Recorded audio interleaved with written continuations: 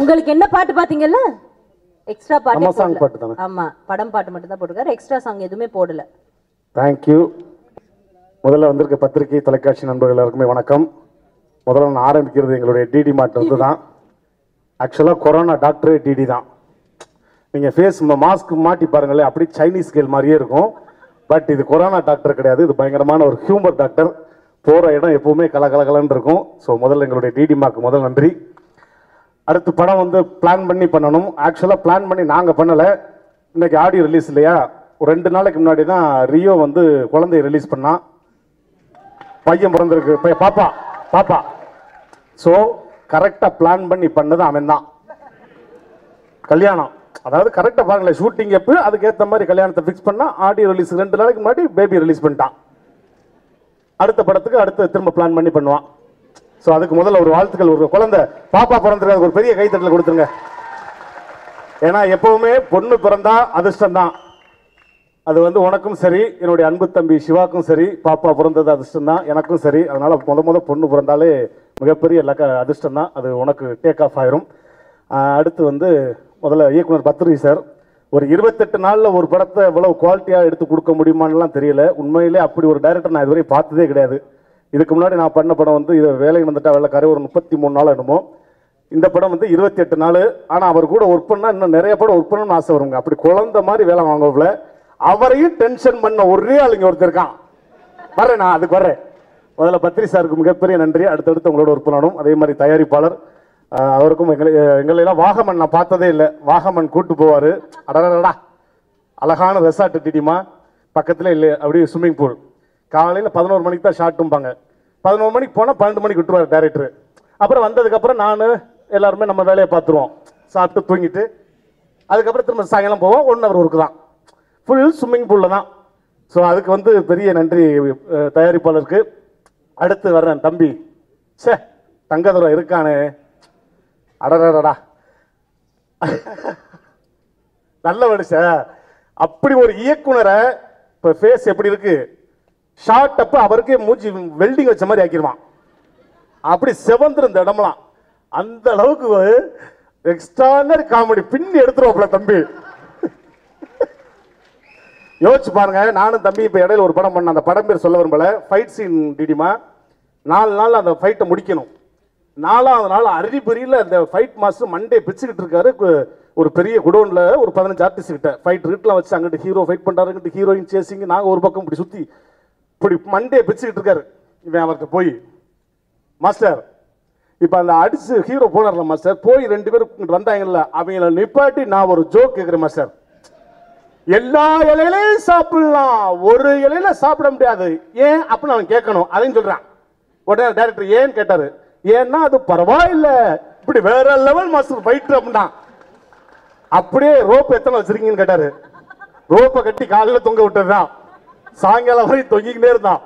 அவர் மண்டையெல்லாம் பிச்சு ஊருக்கு சொந்த ஊருக்கே காடை கேன்சல் பண்ணி சொந்த ஊருக்கு போகலான்ற அளவுக்கு ஒரு ஃபைட் மாஸ்டர் தென்னிந்தியாவிலேயே ஒரு நடிகர் ஒரு ஃபைட் மாஸ்டரை கதற விட்டாதான் அது தக்கதொரை தான் அடுத்து ரம்யா நம்பீசன் அவங்க மேல எனக்கு ஒரு பெரிய க்ரஷ்ஷே இருக்கு. பயங்கர லவ் எனக்கு.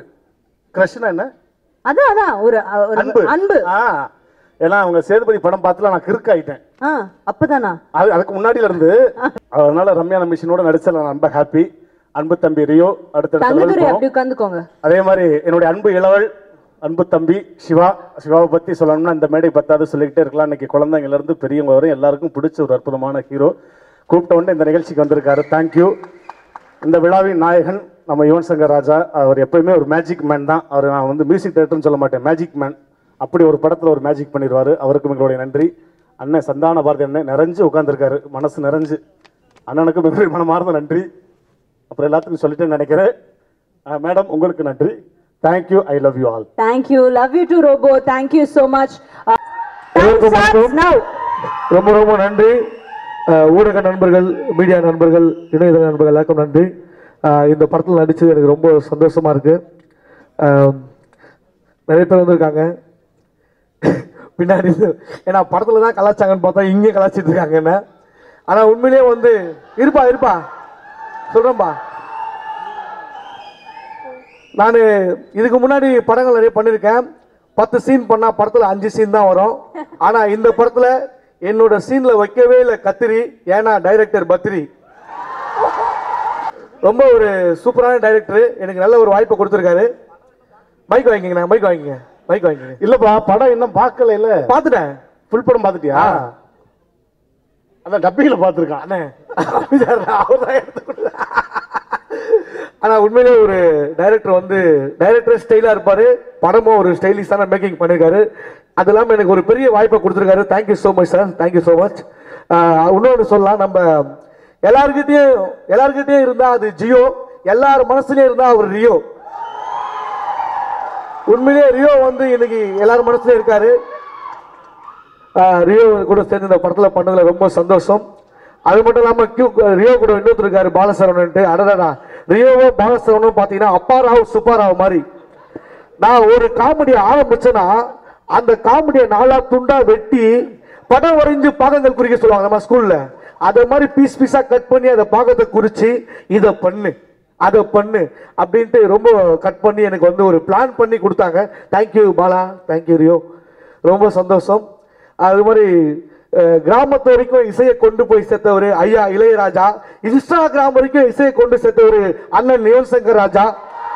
அவர் வந்து அவரோட இசை இந்த படத்தில் வந்து ஒரு பெரிய ஒரு பலமாக இருக்குது தேங்க்யூ ஸோ மச் சார் அப்புறம் அப்புறம் நம்ம ப்ரொடியூசருக்குலாம் சொல்லலாம். ரொம்ப தங்கமான ப்ரொடியூசர் ராஜேஷ் சார் சிந்தன் சார்லாம் வந்து ரியோ பாலா தான் என்ன கலாய்க்கிறாங்கன்னு பார்த்தா ப்ரொடியூசர் சிந்தன் சாரை வச்சு கலாய்ப்பார்.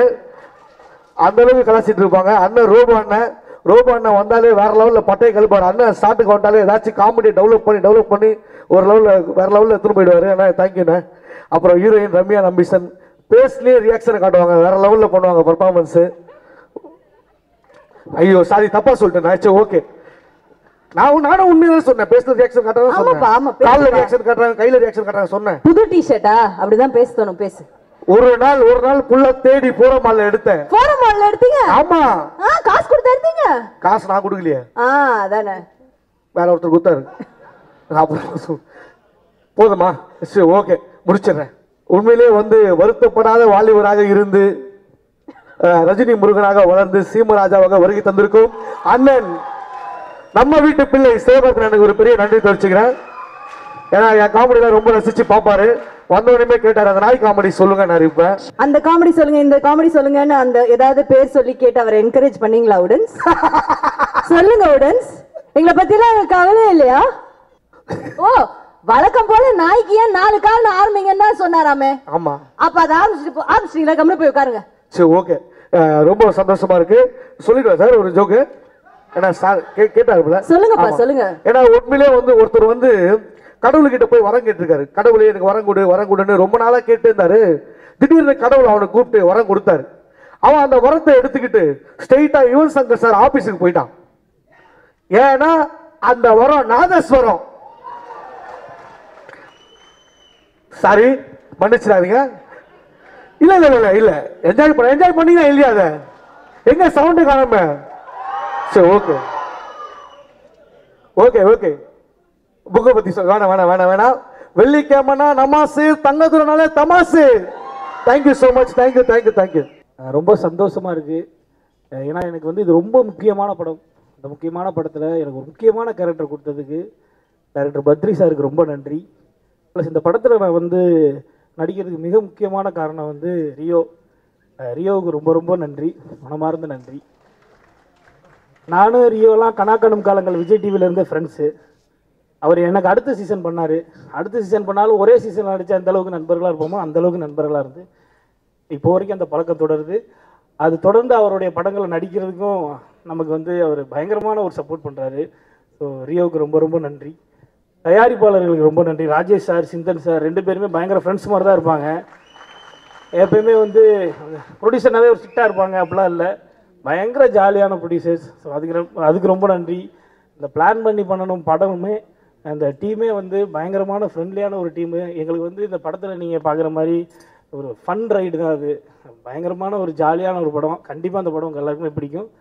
நீங்கள் கண்டிப்பாக ஃபேமிலியோட தேட்டரில் பார்த்துட்டு சப்போர்ட் பண்ணுங்கள் நன்றி.